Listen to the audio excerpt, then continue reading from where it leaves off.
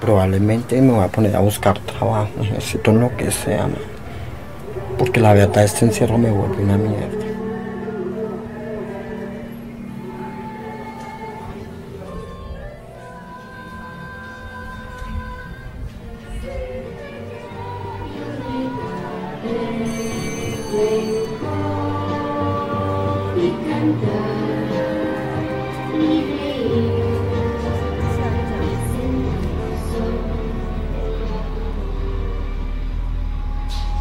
Yo tomo una pastilla que es la única que me da fuerza a pensar como hombre.